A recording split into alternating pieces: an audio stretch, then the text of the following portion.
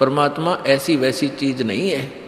ये बहुत ही इम्पोर्टेंट वस्तु है और इसको ऐसी वैसी बात मत समझना।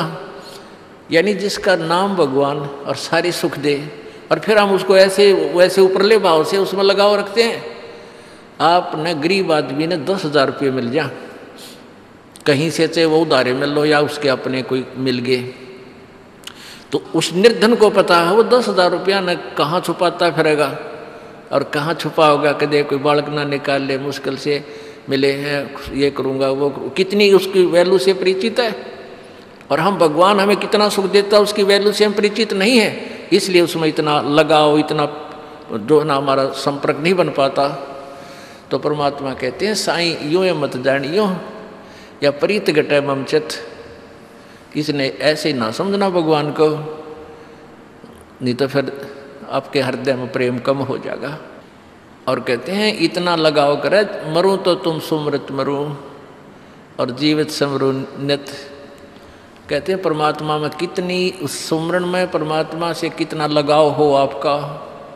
जैसे चंद्रमा के साथ एक चकोर पक्षी का होता है, एक चकोर पक्षी होता है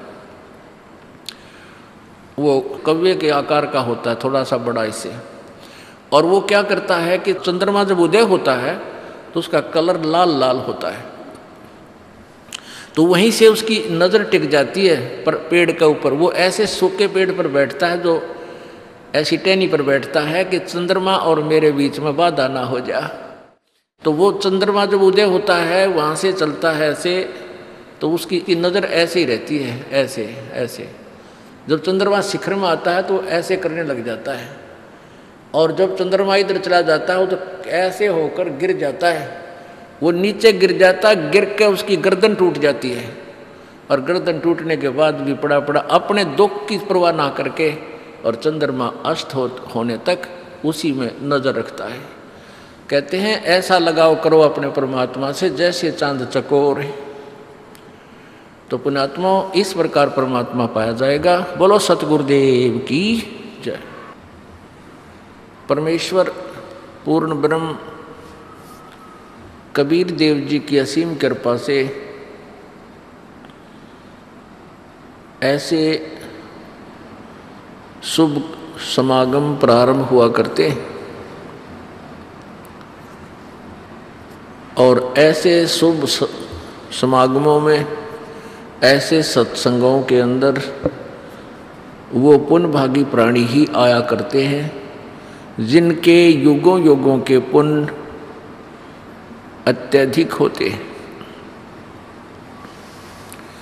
और अन्य प्राणी, मान लीजिए किसी के कहने सुनने से ऐसे शुभ स्थान पर आ भी जाता है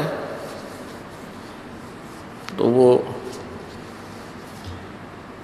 दोबारा नहीं आता। क्योंकि उसके पाप इतने दबाव दे दे जाते हैं कि वो इस अच्छे स्थान पर रह नहीं सकता। वो इतना भक्ति में कमज़ोर है। परमात्मा कबीर देव जी कहते हैं, परमेश्वर कबीर जी कहते हैं, लखबर सूरा जूझ ही, लखबर सामत दे। और लखबर यति जहान में तब सतगुर शरणा ले ऐसी पुण्यात्मा युगों युगों की, लखबर सूरा जू जही लखबर सावत दे। और लखबर यति जहान में तब सतगुर शरणा ले जैसे सूरवीर की क्वालिटी होती है, गुण होते हैं, जो योद्धा होता है वो कितनी भी कठिनाई उसके ऊपर क्यों ना आवे, वो सत्य बोलता है।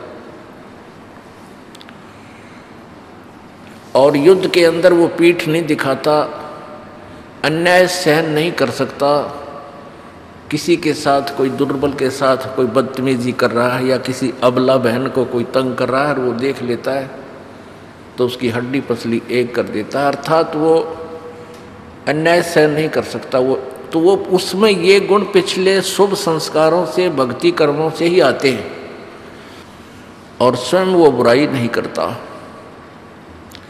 तो कैसे, ऐसे ऐसे लाख जन्म हो चुके हों जिस प्राणी के, ऐसे सूरवीर, ऐसी अच्छी आत्मा रहा हो। और लखबर सावत दे सावत दे बोलते हैं जिसका शरीर हाथ जिसके दोनों हाथ घुटनों से नीचे तक लंबे होते हैं। ये पहचान होती है उस महान आत्मा की। अब तो शायद विश्व में कोई शायद ही हो, नहीं, पहले बहुत हुआ करते थे। दो, चार, एक समय में हो ही जाते थे।